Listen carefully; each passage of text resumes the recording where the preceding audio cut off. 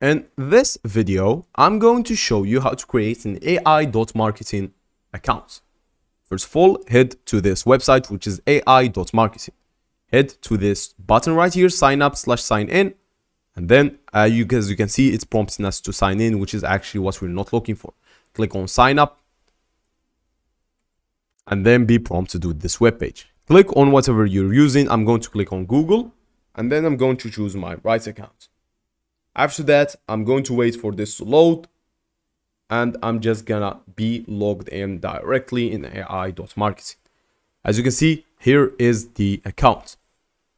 I can actually choose my name, which is going to be just a example account.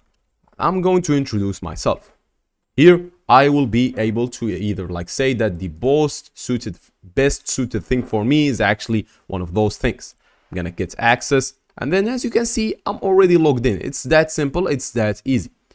You can see that in this tool, it's pretty, pretty good. And you can find a lot of the stuff. That's it for today's video and goodbye.